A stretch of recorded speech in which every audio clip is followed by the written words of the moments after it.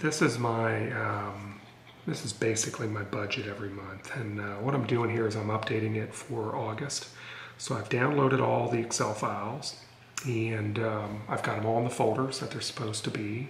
All the files are in the proper format and I'm just hitting refresh now um, to refresh my data. And as soon as I do this, I get this seven queries are blocked by an error. And it says kind of a general thing that the step is removed, column one, reference other queries and other steps. And so it can no longer update the data. So again, I, I know my data is clean. I know that it's good. What else is going wrong here? Okay, so I'm gonna go in and take a look at uh, transform data. And as soon as I open up my transform data, it says that the preview might be up to, in my case, 22 days old.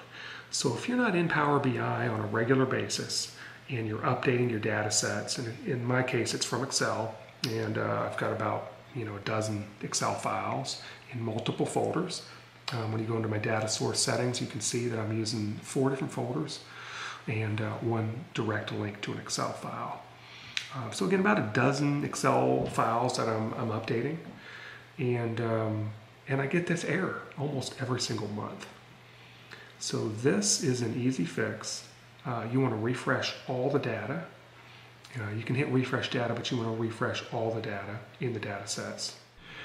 Okay, now at this point, um, it has run the, um, the updates, and you can now see each of those cards is updating. It's pulling the data in, and the update is complete. That simple.